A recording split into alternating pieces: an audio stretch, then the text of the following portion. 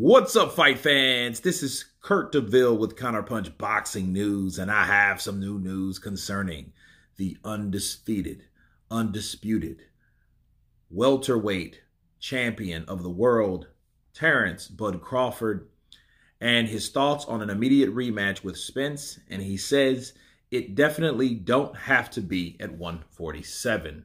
Okay, and this is what he said. He said it definitely don't have to be at 147. Um, he said, when asked about the rematch, he said, like I said, you know, I'm in a hurt in the hurt business. Making 47 was kind of hard for me too. I was already taking talking about moving up and fighting Charlo. So 54 wouldn't be out of reach of anything. And he said, it's something I got to talk to my, well, that's um, Spence indicated about Crawford. And let me counterpunch. First off, since it was already um, already an issue with Crawford as well to make 147 because you know the word around the campfire now is uh, Errol Spence looked weight drained.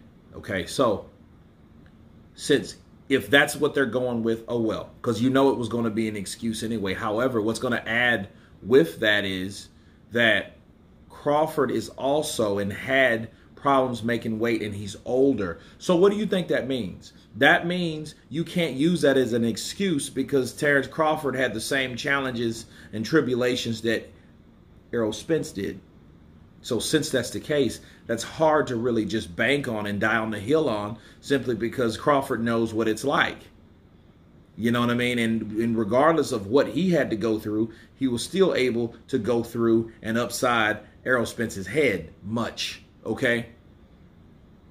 So nothing is really a problem with Terence Crawford at this point. I think if anything, if Errol Spence wants to push for this fight, he will be the one that really pushes it just like I feel Terence Crawford wanted it and pushed it before. I just think he just got tired of the BS and decided to, you know, step down and fight David Avanesyan, you know, because things drug along and nobody really understood why. You know, but for the fight for me, it being at 154 or not, um, I would prefer it being at 154. Why? For the fighters. It will help them so they don't have to starch themselves for 147. Terence Crawford's older.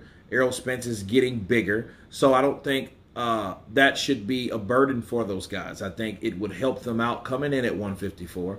Uh, what and what what would they fight for though? I don't know. Um, and also, it will be no excuse on Team Spence. You know, we don't want to have the Mr. I have a thousand excuses for everything Wilder. We don't have to use any of those excuses again because that's the another excuse that he used for another fighter, which was Errol Spence. So if they do go to 154, we don't have to hear that again. You know, so because I don't want to hear any excuses. Just like Errol said, I don't I don't want to give any excuses. But at the same time, it's like this. Well, hey, um, I'm coming in at 154. I should fight better. I shouldn't have my problems. And if Terence beats me again, it won't be no fault of my own or my team's. But anyway, you guys tell me what you think of Terence Crawford willing to go to 154 pounds to take on Errol the Truth Spence. Of course, please subscribe and you guys been Counterpunch. Peace!